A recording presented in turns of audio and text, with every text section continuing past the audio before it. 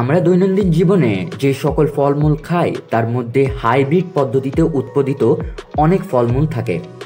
যারা জানেন না হাইব্রিড পদ্ধতি কি, তাদের জন্য বলে দিচ্ছি, হাইব্রিড পদ্ধতি হলো যেখানে দুই আলাদা প্রকারের ফলকে একত্র করে বা সংমিশ্রণ করে একটি আলাদা ফল তৈরি করা হয়। আমাদের দৈনন্দিন জীবনে আমাদের অতি পরিচিত কিছু ফলমূলও এই হাইব্রিড পদ্ধতিতে তৈরি, কিন্তু আমাদের সেটি অজানা। এই অজানা বিষয়টি যদি আপনার জানার ইচ্ছা থাকে, তাহলে ভিডিওটিতে শেষ পর্যন্ত আমাদের সঙ্গেই থাকুন। তাহলে চলেন শুরু করি জ্ঞানের এই যাত্রা, কমলা লেবু। কমলা লেবু প্রাকৃতিকভাবে ট্যাঙ্গেরিয়ান ও পোমেলো নামক ফলের সংমিশ্রণে তৈরি হয়েছে। এটি আজ থেকে প্রায় সাড়ে তিন হাজার বছর পূর্বে দক্ষিণ এশিয়ার জঙ্গলে তৈরি হয় চীনা বাদাম চীনা বাদাম বাদামেরই দুইটি ভিন্ন প্রজাতির সংমিশ্রণে তৈরি হয়েছে। যে বাদামগুলো এখন আমাদের রাস্তা ও ফুটপাতে পাওয়া যায়, এটি আবিষ্কারের সময় শুধু বোলোভিয়া ও আর্জেন্টিনায় পাওয়া যেত। স্ট্রবেরি। স্ট্রবেরি আসলে প্রাকৃতিকভাবেই তৈরি। কিন্তু আপনি বর্তমানে যে স্ট্রবেরি বাজার থেকে কিনে খান, সেটি কিন্তু মানুষ জঙ্গলি ছোট স্ট্রবেরি থেকে তৈরি করে। আঠারোশো শতকে এটি ফ্রান্সে তৈরি হয়, মাল্টা। মাল্টা তো বাজারের অনেক ধরনের পাওয়া যায়। অবাক করার কথা হলো, সেই সব প্রকারের মালটাই মানুষের তৈরি। হ্যাঁ মানুষ পোমেলো ও ম্যান্ডেরিন ফলের সংমিশ্রণে মালটা তৈরি করেছে।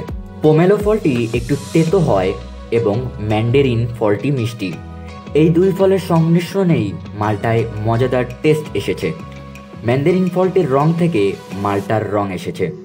মালটার আবিষ্কারের ইতিহাসটা সবার কাছে অজানা ও অস্পষ্ট।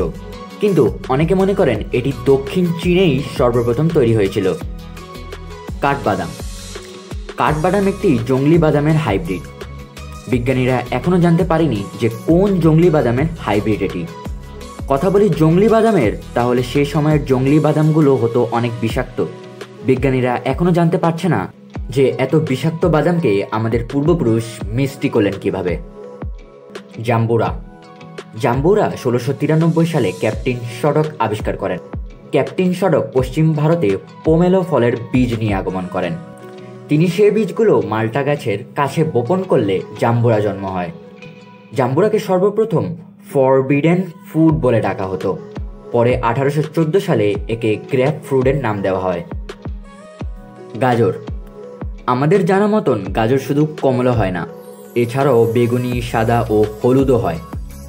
কমলা রঙের গাজর সাদা ও হলুদ রঙের সংমিশ্রণে তৈরি। আজ থেকে প্রায় এক হাজার বছর পূর্বে এটি ইরানে আবিষ্কার হয়। কলা। কলা মুসা অ্যাকুমিনাটা ও মুসা বালবিসিয়ান নামক কলার সংমিশ্রণে তৈরি। দক্ষিণ এশিয়ার জঙ্গলে প্রাকৃতিকভাবে এই সংমিশ্রণ হয়। প্রায় দশ হাজার বছর পূর্বে এটিকে খোঁজা হয়েছিল। তারপর থেকে মানুষেরা এর বীজ সংগ্রহ করে বপন করতে থাকেন। যদি এই কলার বপন সারা বিশ্বে সম্পূর্ণভাবে থামিয়ে দেওয়া হলে আমাদের পরিচিত এই কলা বিলুপ্ত হয়ে যাবে এবং মানুষ একে কখনো ফিরিয়ে আনতে পারবে না। তাহলে কীরকম লাগল ভিডিওটা অবশ্যই কমেন্ট করে জানাবেন এবং আপনার কোনো বিষয় জানার ইচ্ছা থাকলে তাও কমেন্ট করে জানান। ভিডিওটি ভালো লাগলে ভিডিওটি এখনই লাইক করে দেন। চ্যানেলটি ভালো লাগলে চ্যানেলটি সাবস্ক্রাইব করেন এবং পাশে থাকা বেল আইকনটি প্রেস করেন। আমাদের এই রকমই জ্ঞানমূলক ভিডিও নিয়মিত পাওয়ার জন্য।